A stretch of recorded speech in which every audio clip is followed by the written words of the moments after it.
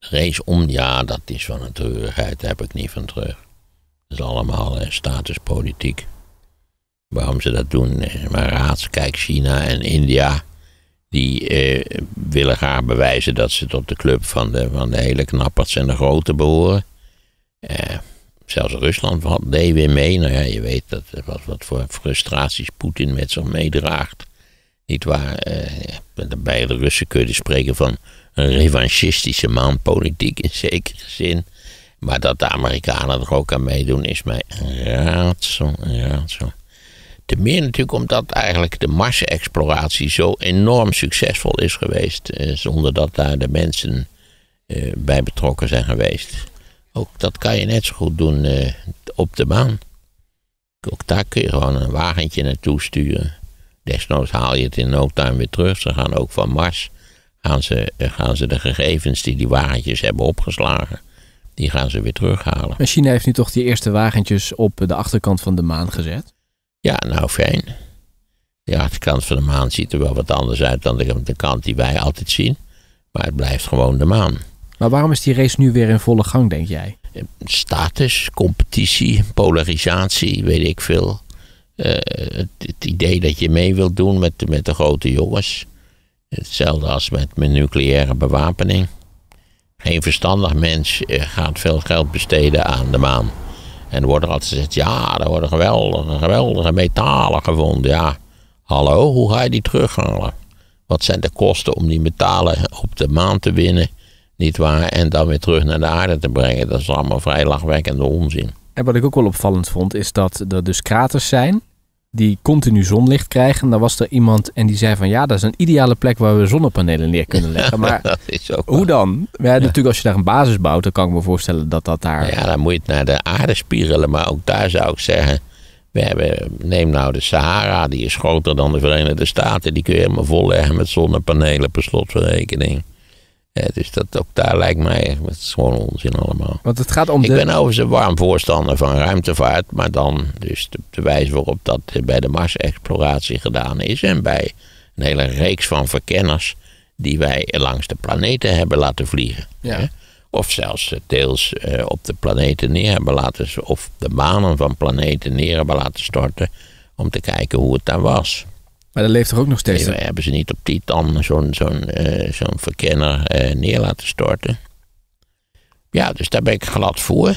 Maar, ja, maar die maan, de flauwekul, dat wil zeggen... Exploratie, exploratie van de maan zonder menselijke participatie vind ik verder prima. Dat valt ook wel mee qua kosten. Maar de maan is niet zo'n bijster in. Volgens mij weten we wel genoeg van de maan. We zijn er toch, we zijn er al geweest. Hè? Al weet ik niet precies wat eigenlijk al het onderzoek van het materiaal wat toen meegenomen is, wat dat heeft opgeleverd. Kijk, de Amerikaanse landing op de maan was een puur koude oorlogsproject. Er was geen enkele dringende noodzaak voor de Amerikanen om naar de maan te gaan. Dat wil zeggen, afgezien van status, hè, dan het, het grote mogendheidsgevoel. Zo van, wij kunnen En dat dit. kwam omdat de Verenigde Staten natuurlijk, natuurlijk een aantal hele vervelende eh, directe hits op hun neus hadden gehad van de, van de Sovjet-Unie. Namelijk de eerste kunstmaan. Hm, Hè? de hond. Ja, eh, Laika, dat is de tweede kunstmaan. Die arme hond. Ja, dat schijnt een Moskou zwerfhondje te zijn geweest. Ja, dat is omdat het temperatuursysteem van dat ding viel uit. Waardoor het beestje gekookt is, zal ik maar even zeggen. Nou ja, voordat hij gekookt was, zal hij wel overleden zijn. Ja. Nou, toen natuurlijk de eerste astronaut, Yuri Gagarin. Dus ja, de, en toen de Amerikanen met die Vanguard-raket, die, die op een ontzettend lullige manier omviel bij de lancering. En dat, dat, dat, dat minuscule satellietje wat ze hadden willen lanceren rolde over de... Nou, het was allemaal van een treurigheid. En toen hebben de Amerikanen besloten, Kennedy heeft besloten... Within this decade we'll put the man on the moon. Wat over zichzelf een, een, een uiterst complex en duur project is, maar van men wel wist dat dat wel te doen was. Dat was Neil Armstrong Ja, eigenlijk. dat was Neil Armstrong, die was de eerste, maar er zijn er toen er zijn een hele reeks van die lui, van die astronauten, zijn op, hebben op de maan rondgelopen. Hoe kwam het dat de eh, Sovjet-Unie in de Koude Oorlog zo succesvol was in de ruimte? Ja, dat is een heel interessant eh, thema in feite. En dat lag aan, dat zullen we maar noemen, de voorsprong van de achterstand. Dat wil zeggen, Eh, de, de, de Russen hadden een raket gebouwd. Natuurlijk, dit alles natuurlijk in het kader van de eh, bouw van ballistische projectielen in verband met eh, het bestoken van de vijand met ballistische projectielen. En die hadden een raket gebouwd, maar de Russen waren op het punt van metallurgie en allerlei andere technieken eigenlijk veel minder ver gevorderd dan de Amerikanen. Kom zo over die Amerikanen te spreken. En, maar de Russen zeiden van, nou ja, als we die raket nou wat sterker willen maken, dan gaan we niet een, nieuwe raketmotor ontwikkelen. Want eigenlijk weten we niet precies hoe dat moet. En die, die genereren veel meer hitte. En dat geeft allerlei problemen die we niet eens van die op kunnen lossen. Dus wat doen we? We plakken gewoon onderaan die raket, aan de zijkant, een, een reeks van kleinere raketjes. En dat bleek fantastisch te werken. Ongeluk, terwijl de Amerikanen hadden die oplossing verworpen. En waren begonnen aan het ontwerp van een veel grotere en zwaardere raketmotor. Daar kwam nog bij dat, dat de Amerikanen op zichzelf wel over raketten beschikten.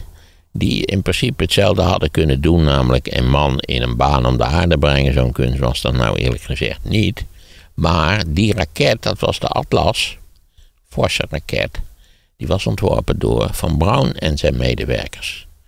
Dus door de Duitsers in feite, die de, naar Amerika waren gehaald. Natuurlijk om hun, hun expertise op raketgebied in Amerika te gaan gebruiken. Ik dacht dat Von Braun ook betrokken was geweest bij het ontwerp van de Saturn V, de raket die eh, eh, in feite de mensen, de, de, astronauten naar de maan heeft gebracht.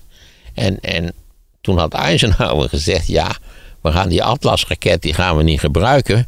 Want dan zegt iedereen, zie je wel, die, dat hebben die vuile fascisten gedaan, die de Amerikanen eh, naar Amerika hebben laten komen. En misschien was dat ook wel het geval geweest.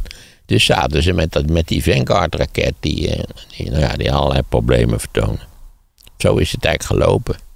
Nou ja, en omdat dat Kennedy natuurlijk van hè, don't ask what you can do for, uh, what, what your country can do for you, but uh, die hele Churchilliaanse retoriek van Kennedy, daarin paste natuurlijk within this decade will put the man ja. on the moon.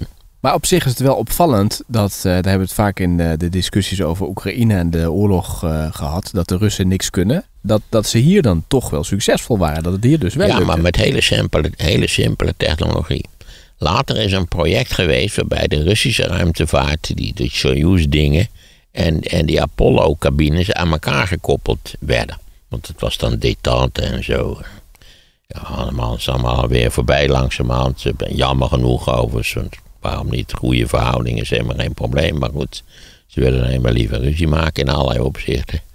Um, en toen weet ik wel dat die Amerikaanse astronauten volgden dus ook een opleiding in Rusland, waarbij ze kennis maakten met die Soyuz. En, en natuurlijk, er moest een gezamenlijk koppelmechanisme worden ontwikkeld. En die Amerikaanse astronauten zeiden dat die Russen naar boven durven in, in deze, in deze krakkemikkige dingen, dat is een godse wonder. Dus die waren toch, hadden wel het gevoel dat de Amerikaanse technologie toch een stuk geavanceerder was. Ik denk ook dat dat zo was, trouwens.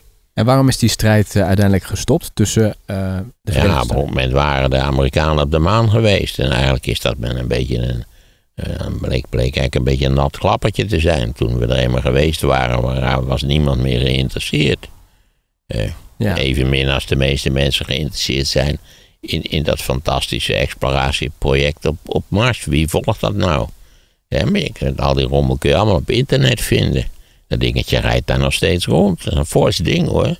Dat zeggen ze ook altijd. Middelklasse car is het. Het is een middenklasse auto. Maar hoe verklaar je dan dat, dat nu dat die strijd weer opnieuw uh, leeft? Competitie tussen de grote mogendheden, ja. denk ik. En een springplank. Vooral natuurlijk ambities. India wil, wil op, het, op het hoogste niveau meedoen. China. Nou, je weet hoe China erover denkt. Daar wordt altijd in de krant gezegd dat ze op uit zijn op, op is het ook weer, de wereldmacht. Geloof die kletskoek toch niet? De wereldmacht, wat is dat dan precies? Mag ik dat dan ook eens geconcretiseerd en beargumenteerd hebben? Is dat nou dat ze een, spoorlijn financieren van Peking naar Rotterdam? Of dat ze zich bemoeien met allerlei Afrikaanse landen? Dat valt nogal mee, zou ik zeggen. Bovendien zijn ze momenteel doen ze het al helemaal problematisch slecht. Dus wereldmacht. Kletskoekerij is dat. Maar goed. Waar waren we gebleven? Nou, ik vroeg je van wat, hè, wat kan dus die strijd weer hebben aangepakt. En de, Ja, zonde van de centen zou ik zeggen. ja. Verzin iets creatievers. Maar de springplank naar andere hemellichamen, kan dat nog meespelen? Dat, Nou ja, dan moet je naar Mars. Daar, ik dacht dat de Chinezen daar ook iets aan gedaan hadden aan Mars. Moet je zeggen dat ik dat nou niet gevolgd heb. Omdat ik die Amerikaanse dingen al interessant genoeg vond. Die ook allerlei beeld naar de aarde terugsturen natuurlijk. Ja, dan is het wel klaar in ons zonnestelsel. Want ja, de volgende is Jupiter. En eh, Jupiter is een levensgevaarlijke planeet. Die heeft een vrij sterke straling. En daar hebben we niks te zoeken. Het is natuurlijk ook een gasplaneet. Dus ja, eh, Mars is gewoon een, een stenen bal, zal ik maar even zeggen. Eh, maar dan hebben we Jupiter en daarna komen er allemaal gasplaneten. En we hebben ook niks te zoeken. ja. Maar dat kunnen we wel exploreren met, met van die zondes en eh, met van die verkenners. Van wie is de maan eigenlijk? Wie is de baas op de maan? De maan is van niemand. Ik weet niet of de maanverdragen zijn. Nou, overval je me mee met deze vraag. Nee, ik denk niet dat de, de maan is van niemand. Ik bedoel, het, zo- het zou wel zo'n beetje zijn als de Zuidpool. Dat je gewoon afspraken maakt dat, je, dat, je, dat, die, dat die Zuidpool van niemand is. Dus iedereen mag er naartoe. Ja, maar dat je je wel volgens bepaalde regels op ver- verantwoordelijke wijze moet gedragen, dat wel. Maar kan dat veranderen in de toekomst? Dat als meer landen daar naartoe gaan, dat ze de maan gaan claimen?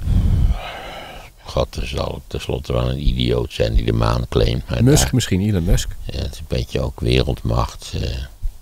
Want is het zo dat als je op de maan eh, machtig bent of je kunt daar makkelijk naartoe, dat dat ook je positie op aarde versterkt? Nou, ze zeggen, dan zijn er simpelere en goedkope methodes om je positie op aarde te versterken. dan om eerst naar de maan te gaan, eerlijk gezegd. Maar even afgezien van de risico's van lancering hier, eh, landing daar, lancering van daar weer naar hier en dan landing hier. Dat zijn hele complexe procedures. Ja.